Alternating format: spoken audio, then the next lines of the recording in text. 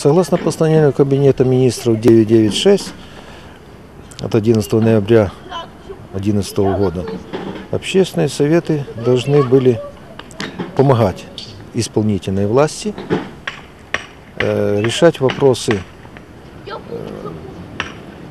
жизнедеятельности города, э, вопросы повышения расценок для юридических организаций, это согласование, вопросы м,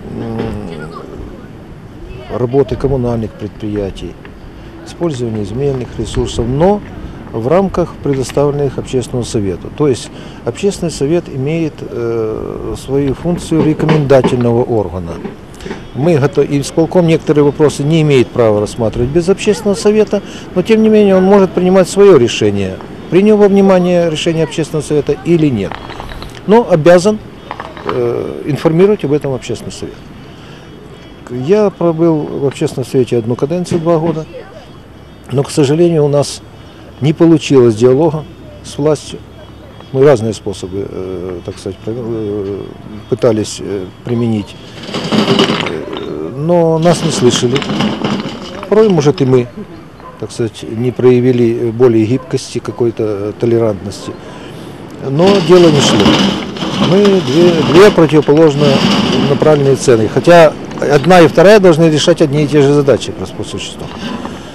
Поэтому вот сейчас э, группа, которая, так сказать, поддерживает меня, э, приняли решение такое, чтобы вместе с мэрией, вместе с депутатами разработать программу действий.